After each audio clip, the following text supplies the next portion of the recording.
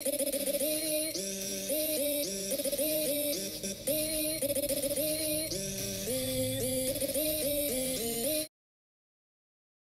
going on, everybody? Mr. Octagonal here, and today we are back with the Three Minutes on the Clock podcast, Season 2, Episode 9. Today we have my 2020 NFL Mock Draft 6.0, three rounds with trades. So, a lot of stuff to cover.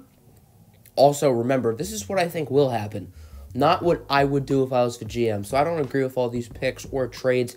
If you do want to see a mock draft of what I would do, I have those in my Discord. I'll leave the link in the description if you're interested. Not only would I have mock drafts there, but we also talk about the NFL draft and talk about the channel, and it's a good way to connect with me as well as other viewers. Also, I was going to do a combines winners and losers video this week, but I never got to it because I was sick. So instead of that, you'll see changes in today's mock draft reflected by how players did in the combine. Sort of like a guy like Denzel Mims. Probably a late second or early third rounder before the combine, but now he has moved into the first round. So you'll see changes like that to sort of give an accurate representation of who I thought won and lost. So without further ado, let's get right into it. Just to make things clear, all the picks highlighted in blue are trade ups, and all the picks highlighted in green are trade downs. So let's start the Bengals here at one. This is no surprise. They're going to pick Joe Burrow. Joe Burrow wants to be a Bengal. This media narrative of he does not want to play in Cincinnati is bogus. It's a lie. Joe Burrow is the best quarterback in this draft class. The Bengals will be making a mistake not to take him, and they're not stupid enough to not make this choice. Joe Burrow is the easy pick here. I think he's far and away the best QB prospect in this draft, and it's not that I think he's a generational talent. It's that I just don't think anyone's close to him in talent. I don't think Tua Tagovailoa is near him, and Justin Herbert, Ethan, who is my QB two, is not that close to Burrow. So this is an easy pick for the Bengals. They won't mess it up.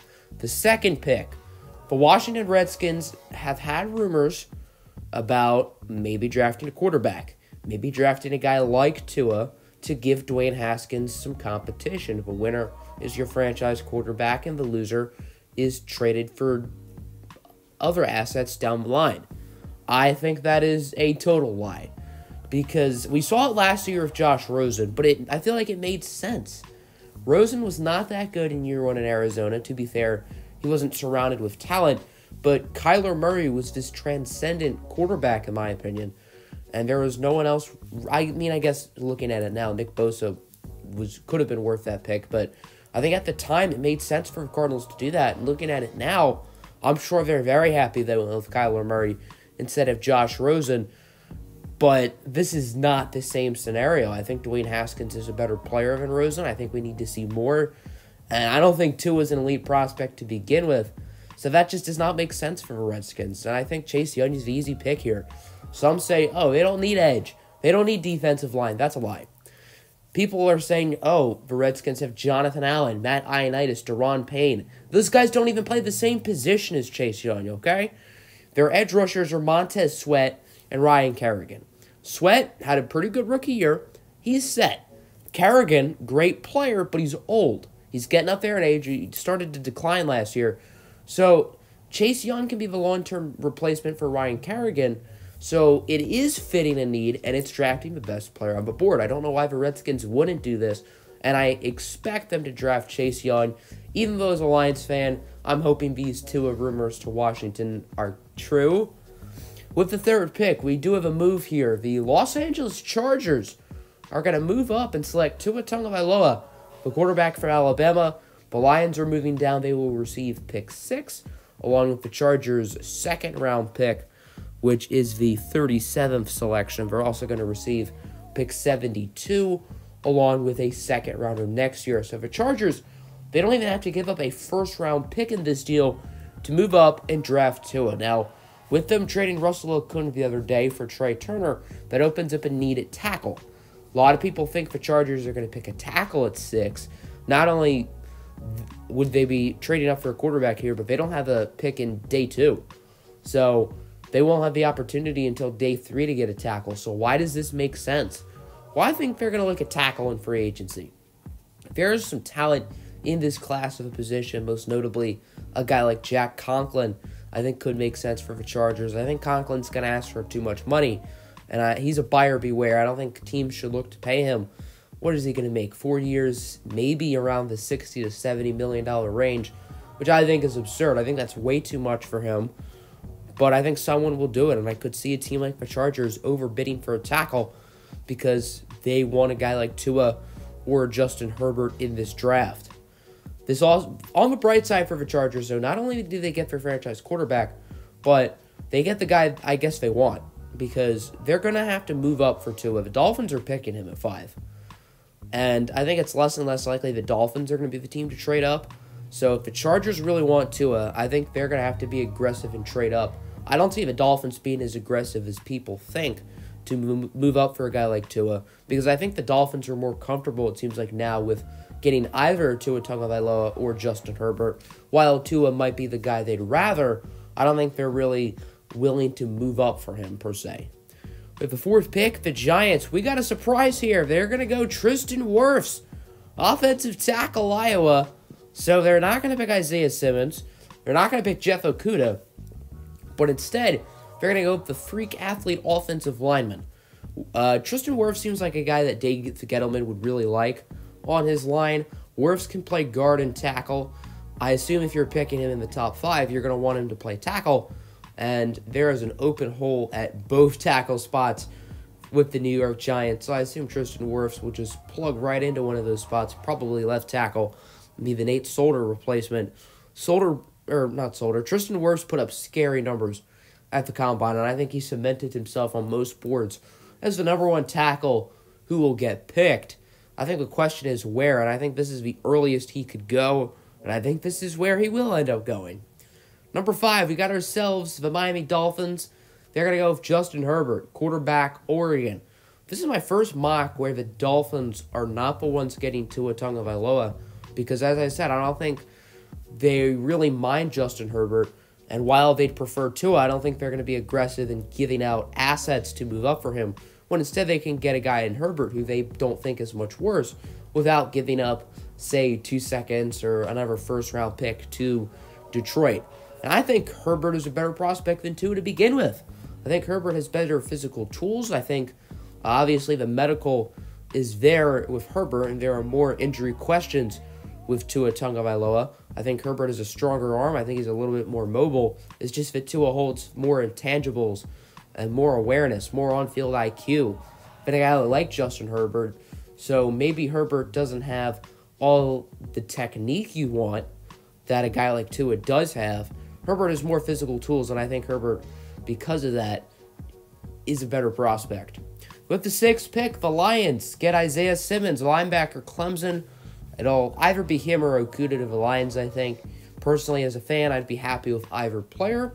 If I were to choose, I would pick Isaiah Simmons. So this would make me very happy. Not only trading down and getting three day two picks within the next two seasons, but also getting the guy who, as this mock draft probably tells you, the Lions will pick at three. Isaiah Simmons is obviously a freak of nature. You saw the combine numbers he had. Insane vert jump, insane 40. Versatility is insane. He can play safety, in the box, in coverage, nickel corner, off ball linebacker, edge rusher. He can do it all. And I think the only question is is he too versatile? Does he not have a set position? Personally, I think he'll have a Derwin James like role as an in the box type safety. So I think that's what you're getting with Isaiah Simmons, but also a guy who runs all over the field, can do pretty much anything on the defense, which is why I think this would be an absolute home run pick for the Lions. Pick seven, Panthers get Jeff Okudah, cornerback, Ohio State. Not a lot of mock drafts are get, having the Panthers getting Okudah because most have him gone here. And talent wise, he should be gone here. Okudah is a top five talent without question in this draft, but based on the Chargers trading up, that has led to a domino effect. And Okudah is able to get stolen by the Panthers. This is an absolute steal of a selection. I understand they have bigger needs from corner, but in this situation, you got to go with the best player available, which is Jeffrey Okudah. Phenomenal cover skills. The combine was a little bit underwhelming, but still not removing him his status of being a top five talent. I think Carolina does need some corners. James Bradberry, he wants an absurd asking price. I saw something that said he wants like 15, 16 mil a year. That's top cornerback money. And I hate to break it to you, but James Bradberry is not a an elite level corner in this league. So I think moving on from him and getting a guy across Donte Jackson and Okudah actually does make a ton of sense for Carolina. I think if they're given this opportunity, they'll take it in a heartbeat. At then pick eight, Cardinals get CeeDee Lamb, wide receiver, Oklahoma. Lamb is super explosive. He is phenomenal after the catch. I think Jerry Jeudy's a little bit better of a prospect than him, but still not a bad selection for Carolina, who's in need of a number one receiver, in need of a true playmaker and game changer on this offense, along with Kyler Murray. Personally, if I'm the Cardinals, I'm picking offensive line. I've said this since day one. I probably pick Mekhi Becton here, but this is not a bad pick by any means. The Cardinals are in need of a number one receiver. I mean, CeeDee Lamb isn't the best route runner, but if you get Larry Fitzgerald to mentor him, that could really turn CeeDee Lamb into a scary player. Not only a phenomenal route runner, but obviously a dynamic athlete and a playmaker after the catch. With the ninth pick, the Jaguars are going to get Derrick Brown, interior defensive lineman from Auburn. And this is another one of those domino effects because of the Chargers trade up, you have differences in this draft and more talented players like Jeff Okudah and now Derrick Brown falling. I'm not as high on Brown as others. A lot of people have him in the top five of their boards. I don't. I just think Derrick Brown's value to today's game is not as much as a guy that, like maybe Isaiah Simmons brings. But nonetheless, I do think this is a good pick for the Jags. I've been having them get Javon Kinlaw a lot in my recent mocks, and if Brown is gone, Kinlaw could still be the pick here, but most scouts do have Derrick Brown ranked higher than Javon Kinlaw at the position. So I do think that is where the Jaguars would end up going with. Getting an elite run stuffer to add to this already really talented front seven could be big for them. So watch out for Jaguars defense. Sacksonville 2.0 is on the horizon. And let me just tell you, the Jaguars are going to continue to build defense in this draft, and you'll see early in for this first round what I mean. Pick 10, Mekhi Becton, offensive tackle, Louisville, to the Cleveland Browns. I think it's no secret that their offensive line is not good. They are in need of a franchise tackle. They have not had one since Joe Thomas retired a few years ago. Mekhi Becton is one of my favorite players in this draft class. Amazing physical specimen. I expected him to test freakishly, and he did. This is a freak athlete. He moves so well for a guy who's 6'7, 364. He ran a 5'1 flat 40. That's unbelievable. His quickness and mobility is beyond none. And it's, it's just unbelievable the way he moves at the left tackle position and his power and his strength and his build is just unbelievable. So I think the Browns would really be making a mistake not going offensive line and to be more specific, with the offensive lineman on the board, they'd low key be making a mistake if that offensive lineman's name was not Mekhi Becton. At 11, I got Jerry Jeudy, wide receiver, Alabama, not going to the Jets. We got a trade here. The Denver Broncos have moved up. They're going to be sending pick 15 along with pick 77 to the New York Jets. So the Jets are moving down four spots, and they're going to add a third round pick in the process. This might not be enough for the Jets, but considering all the needs they have, they can maybe reach for a receiver at 15, maybe hope that Henry Ruggs falls, or hope that one of the offensive tackles they like falls. But nonetheless, it is the Broncos who are going to get Jeudy. They are in desperate need of more receivers. Courtland Sutton was excellent last year, but they need somebody next to him. Adding an elite route runner in Jeudy, who tested well at the combine and is an all around really good receiver, I think will help this Broncos team tremendously. I don't think he he's the physical tools of a guy like Julio Jones to ever become a top receiver in the game, but I think his tools will help him become really, really good right away and really, really help him be a special player in this league for a long time. So I think the most important thing with that trade up is the Broncos are not only getting a receiver in Jared Jeudy, who's great, but they're also taking him away from their divisional rival because he'd be the easy pick here at 12 to Oakland. So instead, they're going to have to settle I put settle in air quotes for Henry Ruggs because this is not a downgrade. Henry Ruggs is a phenomenal player, almost as good of a prospect as Jeudy.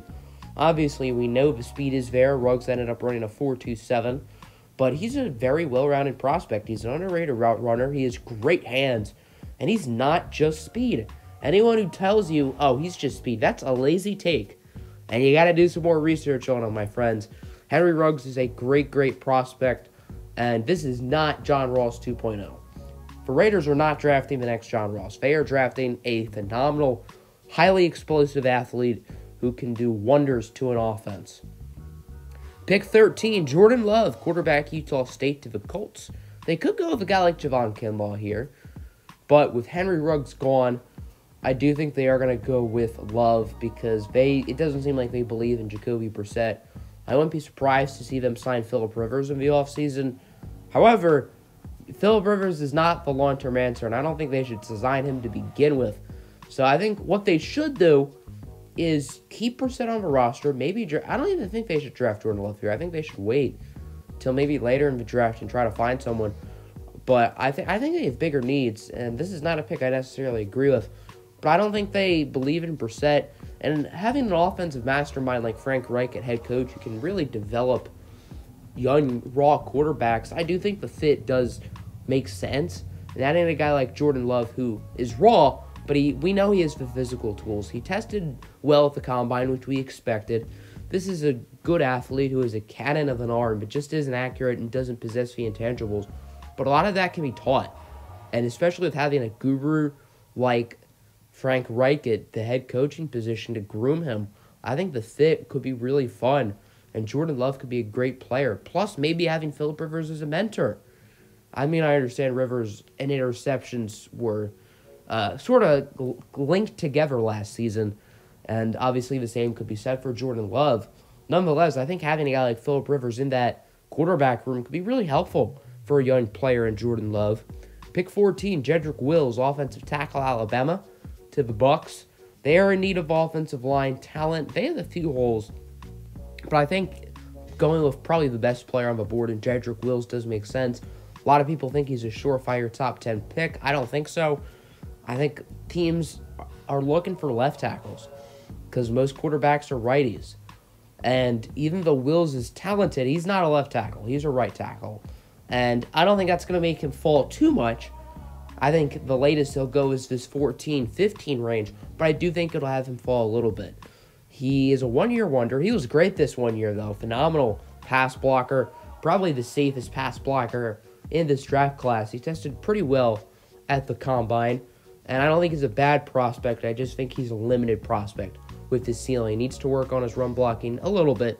He's not a bad run blocker by any means, but he does have some uh, technique to work on. But nonetheless, he does have a very high ceiling, and I'd even is a good pick for Tampa Bay. Pick 15, the Jets, who moved down from 11. They're going to pick K'Lavon Chaisson, edge rusher from LSU. This may be a surprise pick to some, especially with a guy like Andrew Thomas still on the board, but all the receivers are gone. Feels like Thomas's stock is lowering a little bit. He could be the pick here, but they also need edge. And I think adding a guy like K'Lavon Chaisson does make a ton of sense. K'Lavon reminds me so much of Brian Burns coming out of last year's class. I think K'Lavon Chaisson is a direct clone of Burns. Not great run stoppers, but they're dynamic athletes, phenomenal speed and length coming off the edge. Burns ran a 4.5. Chaisson did not test at the combine, but I assume his 40 time would have been around that 4 or 5 range as well. And Burns had a very underrated rookie year, so I think if the Jets know they're getting Brian Burns 2.0 here, I think they'll gladly take that. And then pick 16, Javon Kinlaw, interior defensive line from South Carolina. I'm a huge fan of Kinlaw. I think uh, he's right up there with Derrick Brown. A lot of people think Brown is the clear IDL 1 and then Kinlaw is the clear IDL 2. I don't think it's that easy for me. I think Brown is a more refined player right now, but I think Kinlaw has more athletic tools. I think he's a little bit more upside, and I think he's a little bit better of a pass rusher so I think the Falcons are getting a great value pick here, getting a guy in the middle of your defensive line to pair with Grady Jarrett, who just signed that big extension last offseason. I think this is a great pick for the Falcons, fitting a need and then getting probably the best player available. Next up, we got the Dallas Cowboys here at pick 17, and there are three ways I think they go edge, safety, or corner. I don't think it'll be edge in this scenario because K'Lavon Chaisson is gone, and I don't think there are any edge rushers who could really go in this range. Talent wise and tape wise, maybe AJ Epenesa, but after his bad combine showing, I don't think he goes this high. Maybe safety, but I think it's a little bit too early for both Grant Delpit and Xavier McKinney. So that leaves us with corner, and that leaves us with two Kristian Fulton and CJ Henderson. A lot of people would choose Henderson here. I think Fulton's the better prospect, and I think Fulton will get picked before CJ Henderson. I'll talk about why CJ Henderson will go lower than most expect when we get to his pick. But for right now, I want to talk about Fulton because I was very intrigued by the CB2 race at the combine. What I mean by that is who the second best corner in the draft would be. Okudah is the clear number one, but I thought Fulton was really going to go down some boards, including my own after the combine, but he didn't. He tested very well. He tested better than I expected. And some of those guys who I thought had a chance at passing him, at least on my personal board, like Jeff Gladney, like Noah Igbinoghene, did not pass him. I think both of those guys still performed well, and they're both great. But neither of them passed Kristian Fulton. Fulton is still the CB2 in this draft class, in my opinion. And the Cowboys getting another corner to replace now Byron Jones, as it looks like he is good as gone. If I'm the Cowboys, I would prioritize re signing Byron Jones over Amari Cooper. Doesn't look like they're going to do that. I think that's a mistake. I think Michael Gallup can be a number one receiver in an offense, and then maybe they use a second or third round pick on a wide receiver and re sign Byron Jones, shore up your secondary that's already a little bit weak to begin with.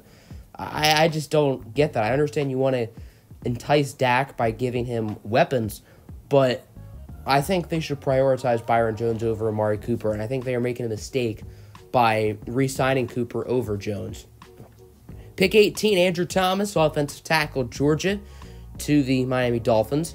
They need offensive line, and Thomas has been great with the Georgia Bulldogs. Seems like he has lost some stock a little bit during this pre uh, season or pre draft process, postseason, I guess you could say. And it seemed like Thomas was going to be a top five pick in December, and it seems like he's fallen a little bit. Didn't test as well as some of his freak athlete offensive tackles did at the combine, but he was not a freak athlete to begin with, and he was not supposed to test insanely well. The thing with him is uh, the production. He has been a little bit more consistent than those top three tackles in Wirfs, Becton, and Wills, but those three guys have higher ceilings because of their athleticism. So that's why Thomas falls Dolphins are going to get him here. Great, great value pick. This will be the day one left tackle for whoever starts there, whether it's Fitzpatrick or Herbert or they surprises and get someone else. Pick 19, Kenneth Murray, linebacker, Oklahoma, to the Raiders. Murray tested very well, and I think he will get picked before Patrick Queen. I'd still pick Queen personally over Kenneth Murray, but for right now, I do think Murray will be the first off ball linebacker off the board. Yes, I'm not counting Simmons as an off ball linebacker because he does not have a true position. So technically, Murray is the second linebacker off the board, but since I'm not counting Simmons, he is the first one going to a Raiders team that's really missed linebacker talent. They've not had a good one in a while. And I think adding a guy who can lead your defense right in the middle and Kenneth Murray, I think makes a ton of sense. And the Raiders need to go linebacker early. I think Patrick Queen I think Patrick Queen would be the better pick here, but this is not a bad selection by any means. Pick 20, we've got a trade. The Saints are going to move up four spots with the Jags, and Jacksonville will receive pick 24 and pick 88. So the uh, it's nearly similar value for moving up from 15 to 11 and then moving up from 24 to 20 with the only difference being the Jets getting a future day 3 pick and then the Jets are getting an earlier third round pick than the Jaguars are getting here. So, technically speaking, the Jaguars and the Broncos are doing good when it comes to these trades. But nonetheless, the Saints are going to move up and get CJ Henderson, corner from Florida. The Saints are going to move up here because I doubt they think Henderson's going to fall to 24. Jacksonville and Philadelphia are both cornerback needy teams. So, wouldn't be surprised to see CJ go with one of those two picks. So the Saints are going to move up for him instead. Henderson is a phenomenal cover corner, great ball skills. He is a clone of Greedy Williams from last year's class. And that's part of a reason why I think Henderson's going to go a little bit lower than people expect. Not that Greedy was bad last year. Don't get me wrong. Greedy was great. But Greedy was supposed to be a top 20, 25 pick. But he fell to the second round because of concerns with tackling. I think that's at least the big concern. And CJ Henderson has those same red flags. He is not a consistent tackler. He has trouble finishing plays, and the effort level is not always there. Now, I think CJ Henderson's going to go earlier than Greedy Williams. I think people think CJ Henderson's a little bit better of a prospect than Greedy, which I kind of disagree with. I've always been a Greedy Williams guy, but nonetheless, I think CJ's going to go lower than people expect. But this isn't a massive fall by any means. The Saints really want to get themselves a true cover corner launch side Marshon Lattimore.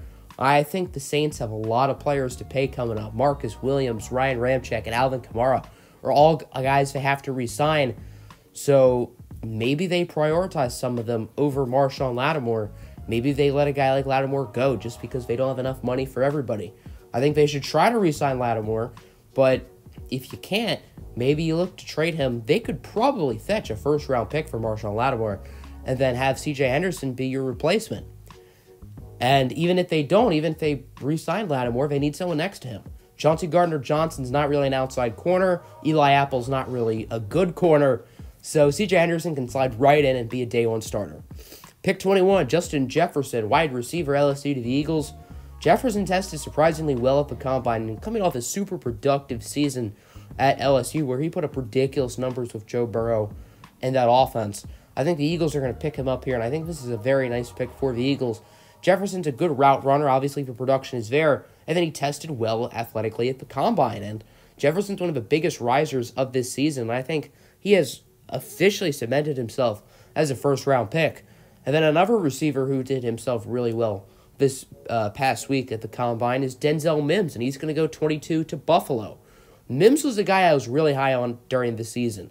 During like November, December, most people had him as like a fourth, fifth round guy.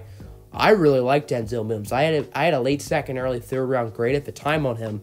Then he performed well at the Senior Bowl, and that's when he started getting some love. He had a late second or early third round grade right around then.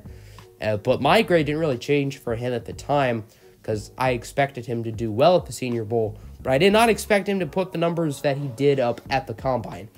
And I think not only has he put himself first round pick on most people's boards, but he's put made him a first round pick on my board as well. And the Bills, who are in need of a true number one receiver, are going to take him right up. Yeah, they had some guys step up at the receiver position last year. John Brown and Cole Beasley both proved to be pretty good signings, at least for the short term. But I think getting a guy like Mims, who performed well at the Senior Bowl, performed very well at the Combine, and played very well this season for Baylor, I think makes a ton of sense. And the Bills are getting a really, really good player here at 22. Pick 23, Yetur Gross-Matos, edge rusher, Penn State to the Patriots. There are a few edge rushers that could go here. Maybe AJ Epenesa goes off the board here. I think the fit of Zach Baun in New England makes a ton of sense. He has a lot of Kyle Van Noy similarities, in my opinion. But I think we're going to go with Gross-Matos, who probably is the most upside of the group. Uh, he's been productive at Penn State. Doesn't put up insane numbers, but puts up good numbers. And the Patriots, I think they could use another piece or two for that defense who has a few big free agents this offseason. Kyle Van Noy, Devin McCourty, and they could look to get replacements there. Maybe, as I said, a guy like Zach Baun. Maybe they look at Grant Delpit or Xavier McKinney, one of the safeties. I guess if they want to pr- replace McCoy- er, McCourty, I think McKinney would probably be the pick just because of his similarities to Devin McCourty, or at least more similarities than Delpit. But I do think it could be Yetur Gross-Matos here, who can sort of be the Trey Flowers replacement, if you will. The Patriots, while their defense was great last year, they were missing that elite pass rusher. Not that Trey Flowers is elite per se, but missing that good pass rusher. And I think Yetur Gross-Matos can be just that. And then pick 24, Patrick Queen, linebacker at LSU to the Jaguars. This is the pick they just got from New Orleans. Queen is a very dynamic player, not a freak athlete, but he put up good numbers at the combine. Not the biggest, he does not have a gigantic frame. However, the Jags need linebackers. They have Myles Jack, who's good, and they just paid pretty big money to. But I think adding another guy like Patrick Queen middle of that defense does make a ton of sense. And I think that'd be a nice selection for Jacksonville. Let's finish up the end of the first round, shall we? Starting with the Vikings. They're going to pick Jeff Gladney, cornerback from TCU. Gladney's been a guy I've been high on for a while. Every single mock draft since January, I've had him going in the first round because I've been telling y'all he's going to put up a good combine and he's going to persuade teams that he's a first round prospect. Well, here we are. He performed well during the combine, and most mocks have him as a first round pick. What did I tell you? This is about the range where I've had him going, and this is about the range where I think he should go. Right in this late first round mold, I think is very fair value for Jeff Gladney, a physical corner who has solid ball skills, pretty good in coverage, and obviously is a very solid athlete. So I think this will be a nice pick for Minnesota. They have a few choices at the cornerback position, but I do have it being Mr. Gladney. Pick 26, AJ Epenesa, edge rusher from Iowa to the Dolphins. Epenesa is going to lose some money after that bad combine, but not too much. I think he's still a first round talent. He's been good at Iowa for a while. Phenomenal sophomore season when it comes to rushing to the quarterback. And then last year, he got a lot of double teams, and it was harder for him to put up sack numbers. Epenesa's versatility can really help him not only as an edge rusher, but as an interior defensive lineman, whereas a guy as like K'Lavon Chaisson, you're not putting him in the middle of your defensive line. That's one of the positives with Epenesa, but with versatility, you want someone who's athletic enough to be really good at both positions. Epenesa did not test super well athletically. For a modern day edge rusher, you don't want them running in the fives. I understand Epenesa's game isn't speed built, I understand it's more power built, but I think that's still a pretty bad time, and you would have liked to have seen something faster from him. Pick 27, we have a trade. Note it's not in blue or green, it's purple because this is a player trade. The Jaguars will be moving up. They're going to be trading edge rusher Yannick Ngakoue to the Seattle Seahawks for in exchange for this first round pick. Yannick Ngakoue has been franchise tagged by the Jaguars, but it sounds like he does not want to come to a long term agreement with them. So I have the Jaguars doing a tag and trade. The Seahawks are going to have to part with their first round pick, but getting a guy as good as Yannick Ngakoue, you might have to part with your first round pick. Yannick Ngakoue is a stud. This kid is amazing. And the Jaguars are letting go of a really, really good football player with this being said, the Seahawks would probably pay Ngakoue if they're giving up their first round pick. They're not going to do what they did with Jadeveon Clowney. And this implies that Clowney's gone, by the way. Jadeveon Clowney would not be returning to Seattle if they get Yannick Ngakoue, and vice versa. Um, if they bring Clowney back, they're not going to make this trade. They don't want two expensive edge rushers. Sure, they'd like two talented ones, but they don't want to break the bank for two players at the same position so this implies that Clowney is gone, and now Seattle can get the Clowney replacement. And Ngakoue isn't necessarily the athlete that Clowney is, but he's been more productive, and he's been better than Jadeveon Clowney. So I think this is a really good move for Seattle, even though they have to par with a high draft pick. And then Jacksonville, their third first rounder, and like their first two, it's going to be on the defensive side of the ball, to be specific, for front seven, as they go Curtis Weaver edge rusher from Boise State. I think NFL teams are a lot higher than GMs on Curtis Weaver. Very productive. He checks all the boxes athletically. And even though most people have him as a mid second rounder, I'd say, I think he's going to be one of those surprises who's a first round pick. And while it may seem like a surprise to the average viewer, it's not going to really be a surprise because Curtis Weaver has first round talent. I mean, he's been great at Boise State, and he can be a perfect replacement for Yannick Ngakoue. So the Jags have really done a good job of improving their front seven in getting Derrick Brown, Patrick Queen, and Curtis Weaver, and also adding a third round pick in the process from New Orleans. Pick 28, Neville Gallimore, interior defensive lineman out of Oklahoma to the Ravens. Of course, Kenneth Murray is gone, and I've had them getting Murray a lot recently. I don't think there are any linebackers worthy of this selection, so I think we're going to go with interior defensive line here. Gallimore is one massive physical specimen, and he put up freakish numbers at the combine. This wasn't too much of a surprise. We all knew he was a freak athlete, but dang, he put up numbers. And I think he has cemented himself as a first round prospect. I think he's passed Ross Blacklock on a lot of boards.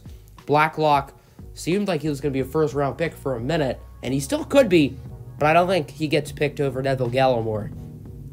Pick 29, Terrell Lewis, edge rusher, Alabama to the Titans. Lewis is a great player, certainly a first round talent in my opinion, but the medical concerns. If he can check all the boxes medically, he'll be a great player in this league. Him and Harold Young, side by side, would be scary. And I think having a dynamic pass rush duo like that could lead to great things for this Tennessee defense. At pick 30, I have the Packers getting Josh Jones, offensive tackle, out of Houston. The Packers need another offensive tackle. David Bakhtiari is great, but on the other side, you got an aging, starting to get now injury prone Brian Bulaga. Josh Jones, I still think, is raw, and you can start Bulaga for another season, but I think having Jones develop behind him does make a ton of sense. While Jones is raw, he had a great season this year at Houston, and the upside is certainly there, so I think this would be a nice pick for the Packers. Pick 31, Grant Delpit, safety, LSU, to the 49ers. Delpit was a little bit inconsistent this year, but he's still a really, really good player. Just needs to work on tackling and simple refinements like that, and I think he'll be a great player in this league. The Niners are missing a few pieces in that secondary, in my opinion. I think adding a guy like Delpit could really, really be helpful. I think this is sort of similar to the 2018 safety class, as I've said, with Minkah Fitzpatrick and Derwin James at the top. Now, I don't think Delpit and McKinney are as good as those guys. I don't think they'll be drafted as high as them, and I don't think they'll make as much of an immediate impact as those two, with Delpit being your Derwin James and McKinney being your Minkah Fitzpatrick. But I think adding a guy who can give you a fraction of what Derwin James gives you could be really, really good for that Niner defense. And then pick number 32, I have Jonathan Taylor, running back, Wisconsin to the Chiefs. They could go defense here, but after seeing the numbers Taylor put at the combine, it's going to be surprising seeing him not be a first round pick. I understand there are concerns. Uh, he got the ball a ton at Wisconsin, nearly a thousand touches in three seasons with fumbling concerns. That could move him down, but I think the upside he possesses and the speed and the power and the well roundedness that Jonathan Taylor brings to the table is going to be hard for a team like Kansas City to really pass on him. And not, not just depending on the pass, it could be really good. Just give Mahomes uh, a few plays where he doesn't have to be desperate and launch it down the field. Have a dependable running back who you can really lean on in certain situations. I think this is a great pick for KC. Let's move to the second round. We've already got a trade. The Bengals will be moving down a few spots as it's the Carolina Panthers who are going to move up to pick 33. The Bengals will receive pick 38 and pick 110. That is the Panthers' fourth round selection. They're going to go with Jacob Eason, quarterback from Washington. A lot of Panthers fans might question the trade up for a questionable prospect, but I wouldn't be surprised to see some of those QB needy teams moving here in the early second round to get their guy and the Panthers just want to make sure that they can get Eason, who has the physical tools to be really, really good, but has been super inconsistent in his college career. I'm not as high on Eason as others, and I think this is certainly too high of a selection for him. I think he's more in that J- Jalen Hurts, Jake Fromm territory at, like the middle of the third round, I'd say. But nonetheless, uh, I think Easton uh, holds probably a little bit more upside than both of them. And the Panthers, who are in need of a quarterback, I think Cam Newton is I understand they said they're going to keep him, but even with his medical concerns, are you really sure you want to depend on a guy who just you don't know if you can have for a 16 game season? So I wouldn't be surprised to see them not only trade Cam Newton, but even if they don't, drafting a guy who can develop behind him for a season or two and eventually become the starter. Pick 34, Ross Blacklock, interior defensive lineman, TCU, to the Colts. Blacklock has been really good when he's on the field for TCU. He had an Achilles injury in 2018, but 2017, 2019, he was great.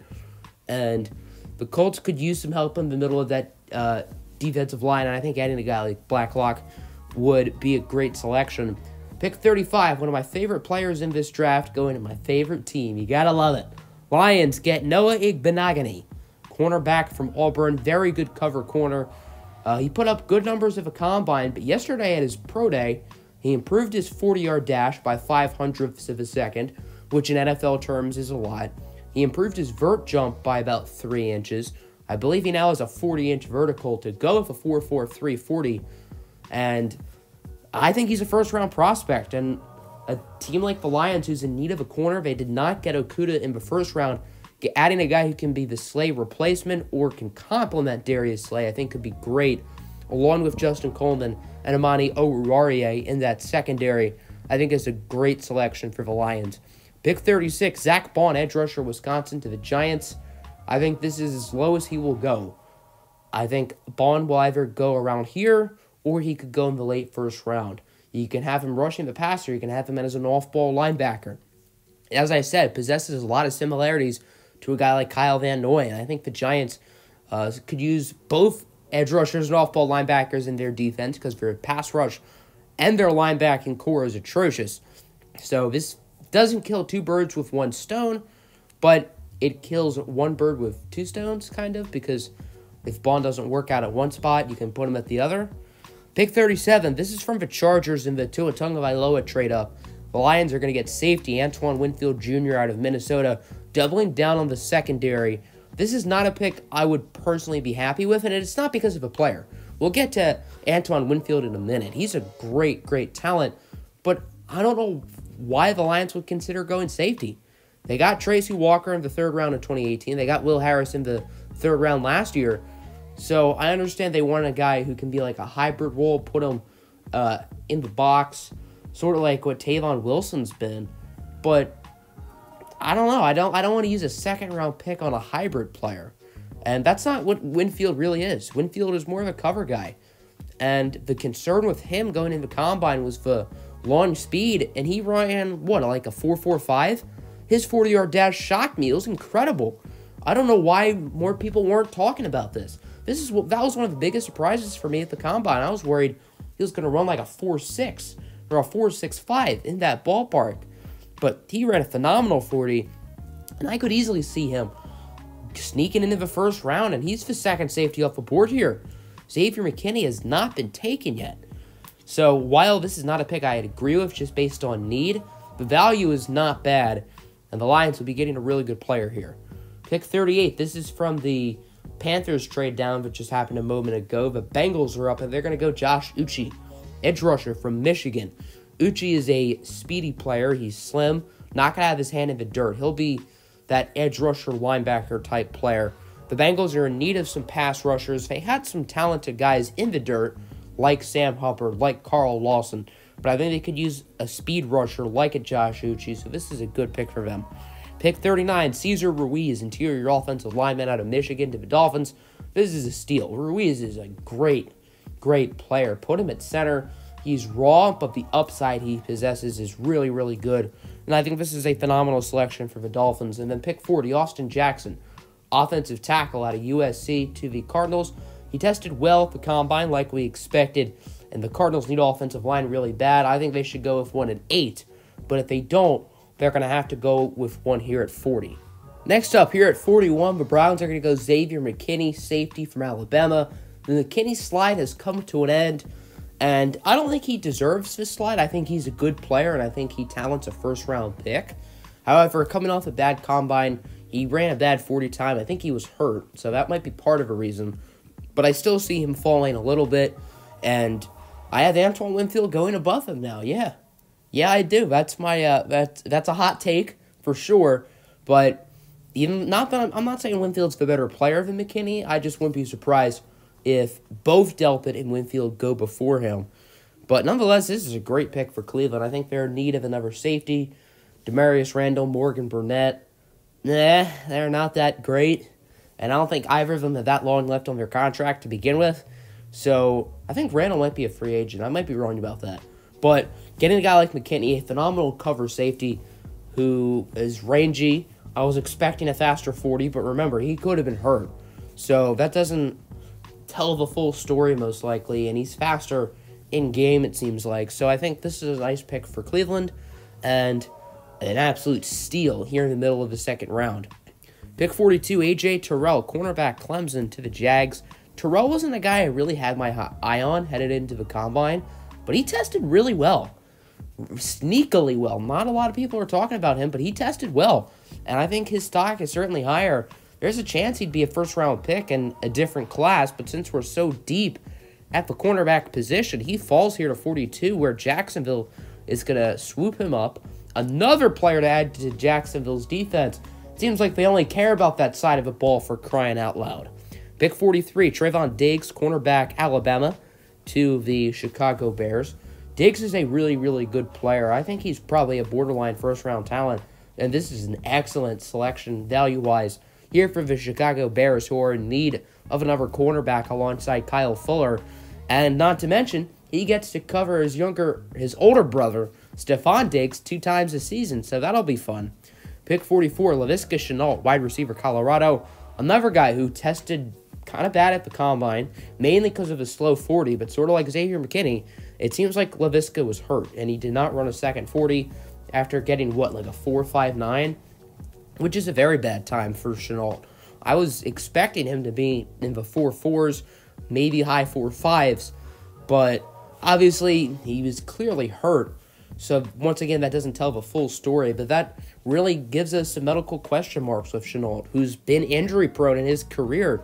So I think there are some medical concerns here, which is why he's going to fall this late into the second round. But I think the Colts, who are in need of a dynamic wide receiver alongside T.Y. Hilton, I think they're going to go with him. They have some talent at the position, but T.Y. is getting older. Parris Campbell has improved a lot, and Zach Pascal can only do so much. So I think this is a good pick here for Indy, getting themselves a four headed monster at receiver if all four of those guys can play well. Pick 45, Marlon Davidson, interior defensive lineman, Auburn to the Bucs. They need some help in the interior of their D line. They got Vita Vea as the nose tackle.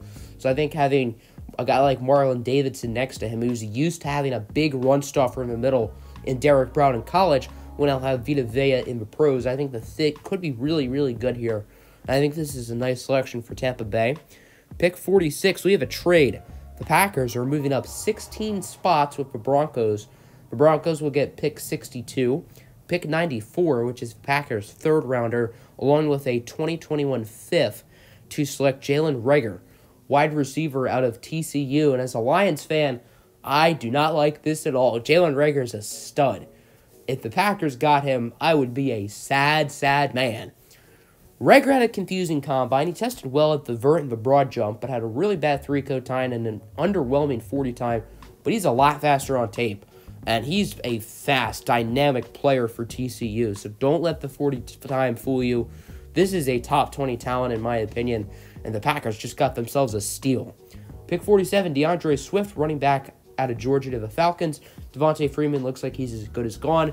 The Falcons need a new bell cow running back, and DeAndre Swift, who's number one on most people's boards, is a very nice value selection here this late into the draft. And then pick 48, T. Higgins, Wide receiver Clemson to the Jets. T. Higgins' stock sort of declined after not testing at the combine. And I think getting a big bodied receiver to add to this offense could be really, really good for Sam Darnold. Getting a guy with a big catch radius in T. Higgins makes a ton of sense for New York. Pick 49, we got Cole Kmet, tight end Notre Dame to the Steelers. There are a few ways Pittsburgh could go here. Maybe interior offensive line, maybe edge rusher, maybe running back. Heck, maybe they look at Hurts or Fromm. But I've been going with Kmet, the top tight end in the draft, in my opinion, and now the first one off the board. He tested very well at the combine, was my number one tight end before the combine, so that just proved it to me even more. And Vance McDonald is not great. The Steelers need to have a legit tight end, and Cole Kmet is a very underrated prospect, in my opinion, who could become really, really good in this league. Pick 50, Lloyd Cushenberry, interior offensive lineman out of LSU to Chicago. They need some help there. Uh, Kyle Long's retiring. Cody Whitehair is probably gone this offseason. I don't think they have him to an extension. So all they've gotten the interior offensive line right now is James Daniels, who's great, but they need more. So Lloyd Cushenberry could be a really, really good pick for this team. He's a bit raw, but the upside is there. Pick 51, Julian Okwara, edge rusher Notre Dame to the Cowboys. Aquara is a prospect I like. The production isn't always there, but you know the talent is. The athleticism is as well. I think adding a guy like Okwara to this defense could be really, really good for Dallas, who's needed in need of a complimentary edge rusher next to Demarcus Lawrence. Pick 52, Willie Gay, linebacker, Mississippi State to the Rams. Willie Gay is an interesting prospect. Massive off the field concerns. However, a freak athlete. He had a 4.45 40 at the combine. You can have him rushing the passer you could have him as an off ball linebacker. I view him a little bit more as an edge rusher, to be honest, but it seems like more draft experts have him listed as a linebacker. You could put him at either spot, in my opinion, and he could be successful. If he can just uh, control the off the field stuff, I think he'll be fine. Pick 53, Jaylon Johnson, cornerback, Utah, to the Eagles. They need another corner. Johnson has been super productive with the Utes, and this is a phenomenal value selection, getting themselves a super productive player in college. Pick 54, we have a trade. I had this trade in my last mock. The Baltimore Ravens are going to move up here, and the Bills are going to receive edge rusher Matt Judon via the franchise tag. So I have the Ravens tagging Judon and then sending him to Buffalo for this pick, which I had on my last mock, and I think makes a ton of sense. Buffalo is in need of a Pro Bowl caliber edge rusher. Judon's only really been good for one season, but he's been impactful in the seasons past. Just didn't have as big of a role with guys like Terrell Suggs and Za'Darius Smith stealing the shine. But he got his opportunity last year and he delivered. And he's going to get a massive payday, but I don't think Baltimore is the team who wants to pay him. But I think they're going to tag him and move him to an AFC playoff contender in Buffalo. That might be scary for some Ravens fans, but this is the best offer I think they can get, and they're going to take it. And with their this selection, we're going to go with wide receiver Brandon Aiyuk from Arizona State. This is a really good pick for Baltimore. They're needed another receiver, and I really like Aiyuk. I think he's a borderline first round prospect. He's a great physical receiver. He tested well in the combine, and I think adding him alongside Marquise Brown could be really, really good for this offense. Pick 55, Troy Pride, cornerback, Notre Dame, to the Atlanta Falcons. Would have liked to see him test a tad bit better, but I think he tested well overall and has put himself as a second round uh, potential talent. The Falcons need another corner. All they really got is Desmond Trufant, who's old and injury prone. I mean, he's not that old, but he's like 30 ish by now. And he's injury prone, and even so, the Falcons need another one anyway. So, killing two birds with one st- actually, not really, because they're still going to need more corners after this, but this is a good start. Troy Pride is a good player. And then pick 56, Lucas Niang, offensive tackle, TCU. Niang's a really, really underrated player. The Dolphins now get two tackles in this draft with Niang and Andrew Thomas. Both of them can start right away. I guess you got Thomas at the left, Niang at the right. That's a really and say, says uh, Cesar Ruiz at center, Michael Deiter at guard. All they need is another guard, and that offensive line is pretty much complete, assuming all three of these guys pan out. Let's round out the second round, starting with pick 57. I've got the Houston Texans selecting J.K. Dobbins, running back, Ohio State. They're in need of another running back. This is an absolute steal. I don't know how J.K. Dobbins has fallen this far, but he has, and the Texans are going to take him up. Dobbins did not test at the combine, which is why I think he's fallen on most boards to the third running back taken rather than the first or second. But nonetheless, this is a great selection for Houston, getting a very, very dynamic player who was great this past season for the Buckeyes. Pick 58, Jonah Jackson, interior offensive lineman, also out of Ohio State to the Minnesota Vikings. The Vikings have needed help at O line for a while. They drafted a couple of interior offensive linemen last year, and Garrett Bradbury and Dru Samia. Samia was quiet, but he was a fourth round pick. And then Garrett Bradbury, I think, was pretty good, but adding another interior lineman and Jonah Jackson does make sense to me. Pick 59, Isaiah Wilson, tackle, Georgia, to the Seahawks. You can't have Russell Wilson running around in the pocket forever. He's been great at it since Seattle picked him, but he's also 31, 32 by now. And eventually his mobility is going to start to go, and he's really going to have to depend on his pocket passing, which he's obviously great with, but I think he's going to have to start preparing to give Russell Wilson more time because he's not going to be able to evade as much pressure as he gets older and less athletic. Pick 60, Akeem Davis Gaither, linebacker, Appalachian State to the Ravens. I really like Akeem. I think he's a great player, and he is certainly warranted a second round selection. The Ravens are in need of an off ball linebacker to get their official CJ Mosley replacement after he left last season.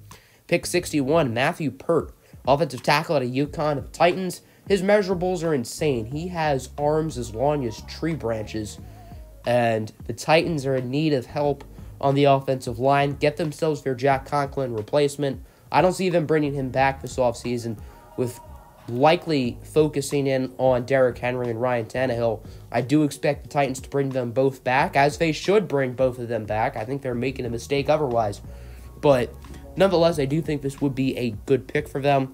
Pick 62, this is the selection Denver got from Green Bay in the Jalen Reagor trade up.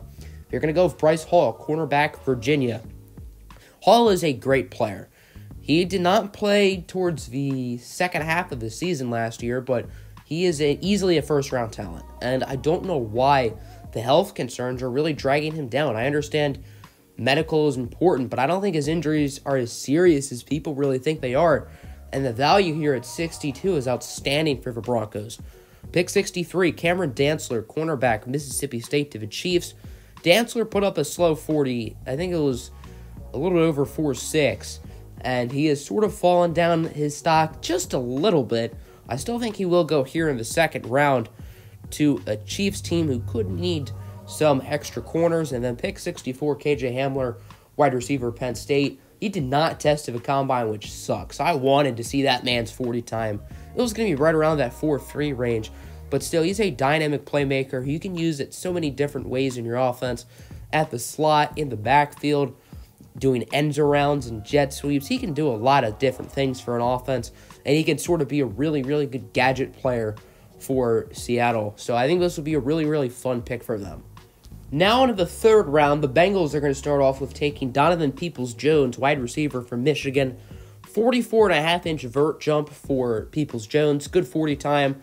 So you're probably confused why he's not going any higher. Well, he's just getting punished because this is a great receiver class. The value here at 65 is excellent for Cincinnati. And I think having a guy like AJ Green, who has phenomenal physical tools as well, having a guy like Green who can mentor Donovan, I think could be really, really good for this team. And Peoples Jones can become a phenomenal receiver one day. Pick 66, Prince Tega Wanogho, offensive tackle out of Auburn to the Redskins. Trent Williams is as good as gone. I expect him traded this offseason. And the Redskins are going to need a replacement. So they're going to go with Prince Tega Wanogho, who's still a little bit raw, still a little bit new to the game of football, but talented player. He's been great at Auburn these past few seasons. Pick 67, Michael Pittman, wide receiver at a USC to the Lions. Kenny Golladay and Marvin Jones both have contracts up this offseason, and while I'm sure Golladay is going to get re signed, I don't know about Marvin Jones. So, in, wide receiver isn't a need this season because both Kenny and Jones are under contract for this coming season, but after that, after the 2021 off season, neither of them are. So while Golladay, I'm sure, will be back, I don't know how sure the Lions are on re signing Marvin Jones so I think adding another receiver like Michael Pittman could be very impactful. Pittman is a big bodied receiver who tested well at the combine. Actually, has a couple similarities to Kenny Golladay. I'm not saying, I'm not comparing the two players, but I think having the Twin Towers on each side, having a giant framed guy in Michael Pittman and then another one in Kenny Golladay, I think that can be great for a strong arm like Stafford. Pick 68, Ezra Cleveland, offensive tackle, Boise State to the Jets. The Jets have not touched offensive line yet, and that's going to change. I promise, Jets fans, this is not the last one either. Pick 69, Justin Madubuike, interior defensive lineman, Texas A&M to the Panthers. I'm not as high on Justin as others, but I do think potential is there. And the Panthers are in need of some interior D line. They could look at a guy like Derrick Brown at seven, but with Okudah there, it was too hard to pass up. They could have looked at Blacklock in the second round, but since they traded up for Eason, they couldn't do that. So they're going to have to settle for Madubuike here, who's a talented player, but the motor isn't always there, and he can take some plays off. Pick 70, Cam Akers, running back, Florida State to the Dolphins. They need a bell cow back bad, and adding three new offensive linemen, that's going to be perfect for a young player in Cam Akers who impressed during the combine. This is a really, really nice value selection for the Dolphins. They're getting a great player in Mr. Akers. Pick 71, Saahdiq Charles, offensive tackle, LSU to the Lions. This pick is also from Vitua Tagovailoa trade up. And I think tackle's a bigger need for Detroit than most think. Taylor Decker is also a free agent in 2021. And then I expect Rick Wagner to be cut this offseason as cap casualty. He's making like 9 or 10 mil a year. That's way too much for Rick Wagner. So I think the Lions could look at tackle this offseason. And getting a guy like Charles in the third round has really seen his stock rise the past couple months. I think that could be a good pick for them. And the pick 72, Raekwon Davis, interior defensive lineman at Alabama to the Cardinals. That's a pretty big need for them. And while I think they really want to go offense in the first round, I think waiting this long could be risky for an interior defensive lineman, but they wanted to be antsy and get that wide receiver early, and then they had to go O line in round two. So now they'll finally address that need here in the third round in getting a talented player in Raekwon Davis, who probably should have declared for last year's draft. Probably would have been a first round pick, but he stayed in school, didn't really help his stock out. and Now he's going to go about here in the third round. Next up here at pick 73, I had the Jaguars finally go in offense as they select Chase Claypool, wide receiver Notre Dame. Claypool had an excellent combine. He put up historic numbers, gigantic frame, had a really good vert jump, uh, 4.45 40 yard dash. I mean, he was getting athletic comparisons to Calvin Johnson, which is incredible. Johnson is one of those dominant players to ever play the position. So being in that company is excellent for Chase Claypool.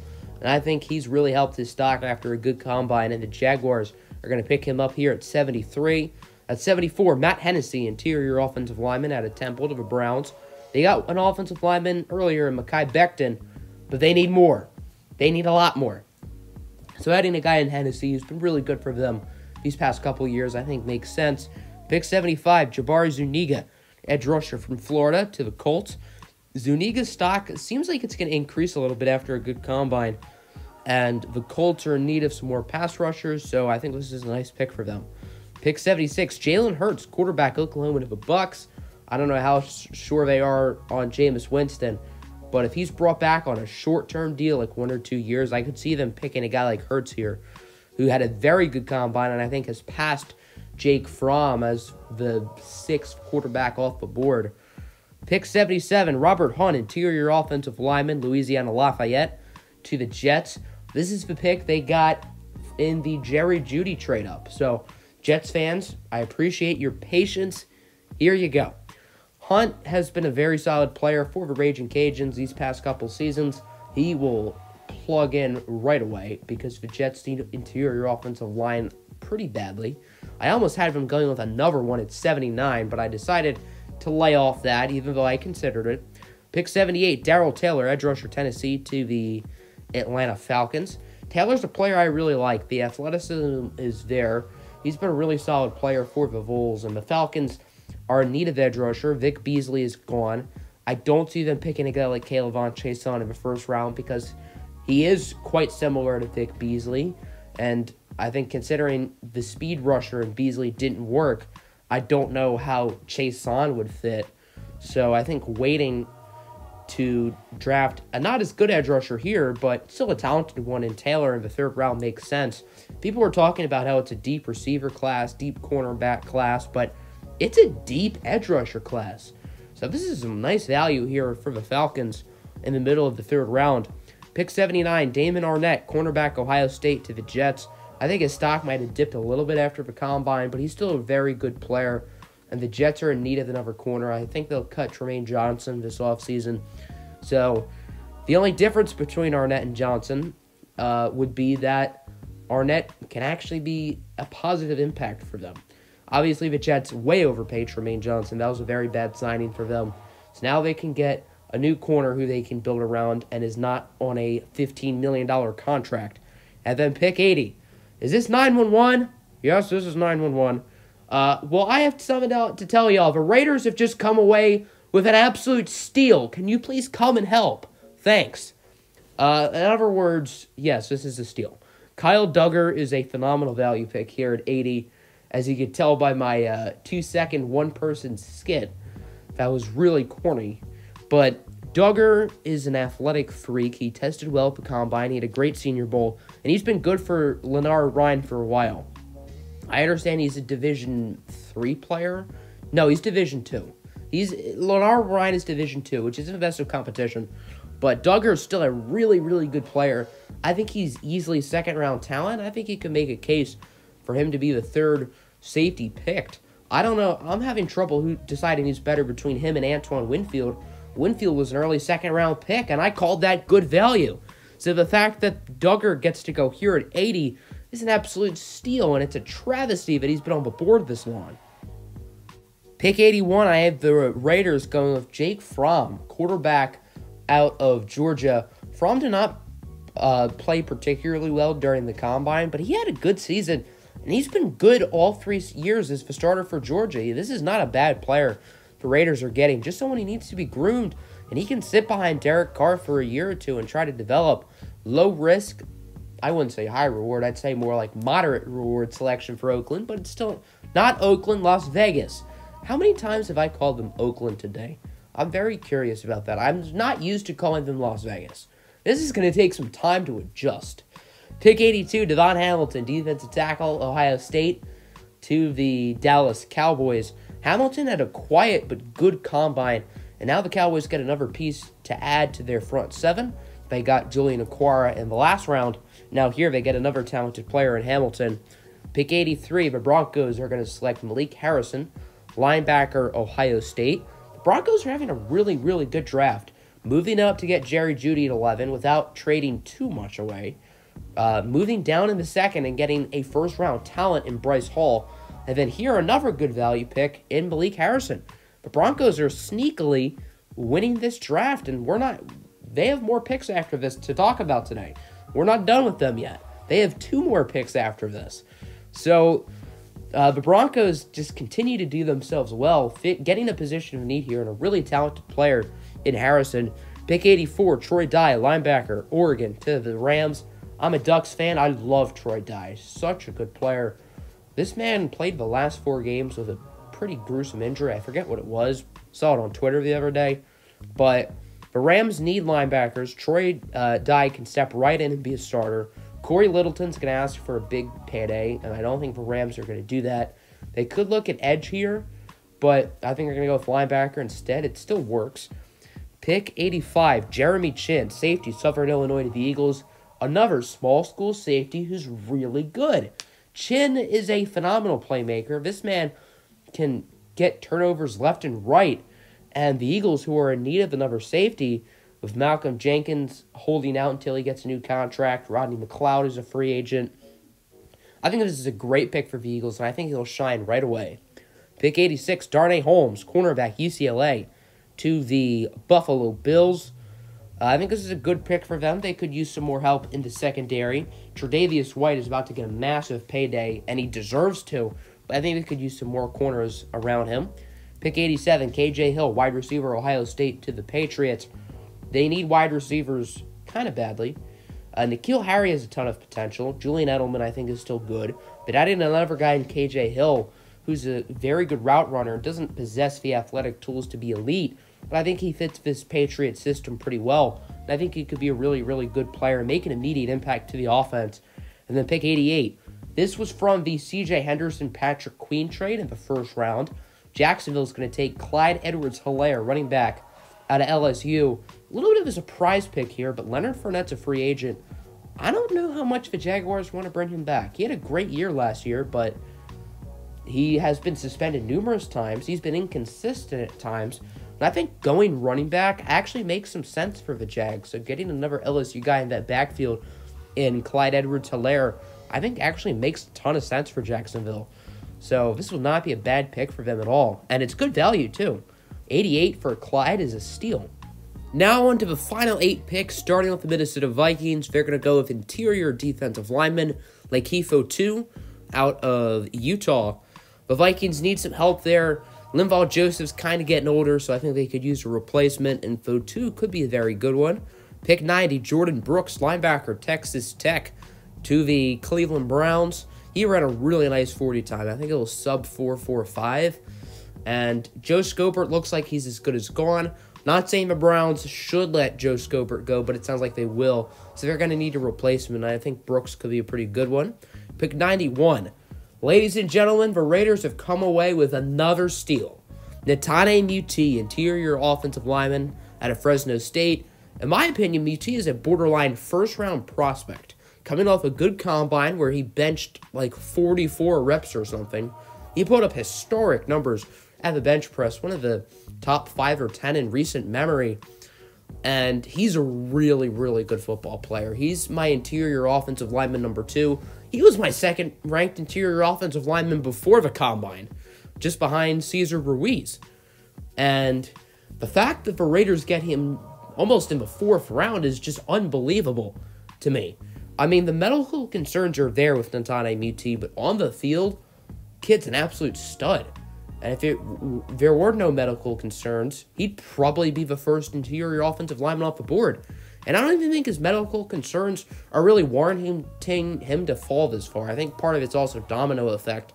So Raiders get themselves a stud. Pick 92, Jonathan Greenard, edge rusher, Florida. That is how you uh, say his name, by the way. As for Ravens, they're going to need to get themselves an edge rusher to replace Matt Judon. I'm not as high on Greenard as others, but I do still think he is a good prospect, and this will be a nice pick for them. Pick number 93, Adam Trautman, tight end from Dayton to the Titans. Seems like they've liked those two tight end sets, and Delanie Walker's kind of getting older.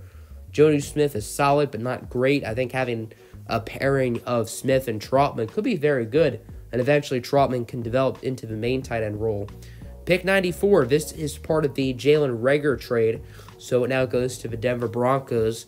They're going to select Solomon Kindley, interior offensive lineman from Georgia. Broncos could use some help both at tackle and at the interior offensive line, so I think this can be a nice pick for them. He can slide in and play one of the guard spots for them. Pick 95, Devin Duvernay, wide receiver, Texas. You got your two outside receivers in Courtland Sutton and Jerry Jeudy.